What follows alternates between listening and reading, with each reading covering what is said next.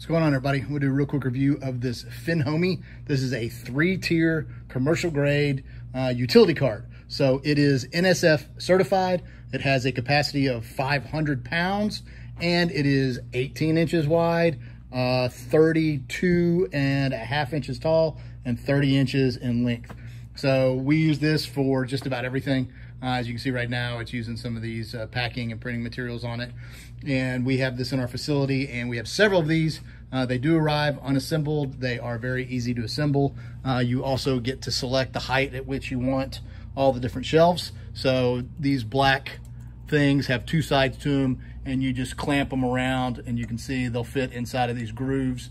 And then you do it around the, the same groove all the way around. And that's how you select the uh, size or the height of the shelf. So like I said, they are commercial grade. Uh, they will last, I don't even know how long. We've had this for years and years and it's gotten lots and lots of use. Um, we use it for a lot more things than just this. And like I said, we have more than one of them. So it is a steel construct, a steel alloy construction. Uh, it does have the push handle, which makes it very nice. And it's just a great, great cart uh, for all sorts of applications. And anyway, if you're looking for a utility cart, here you go.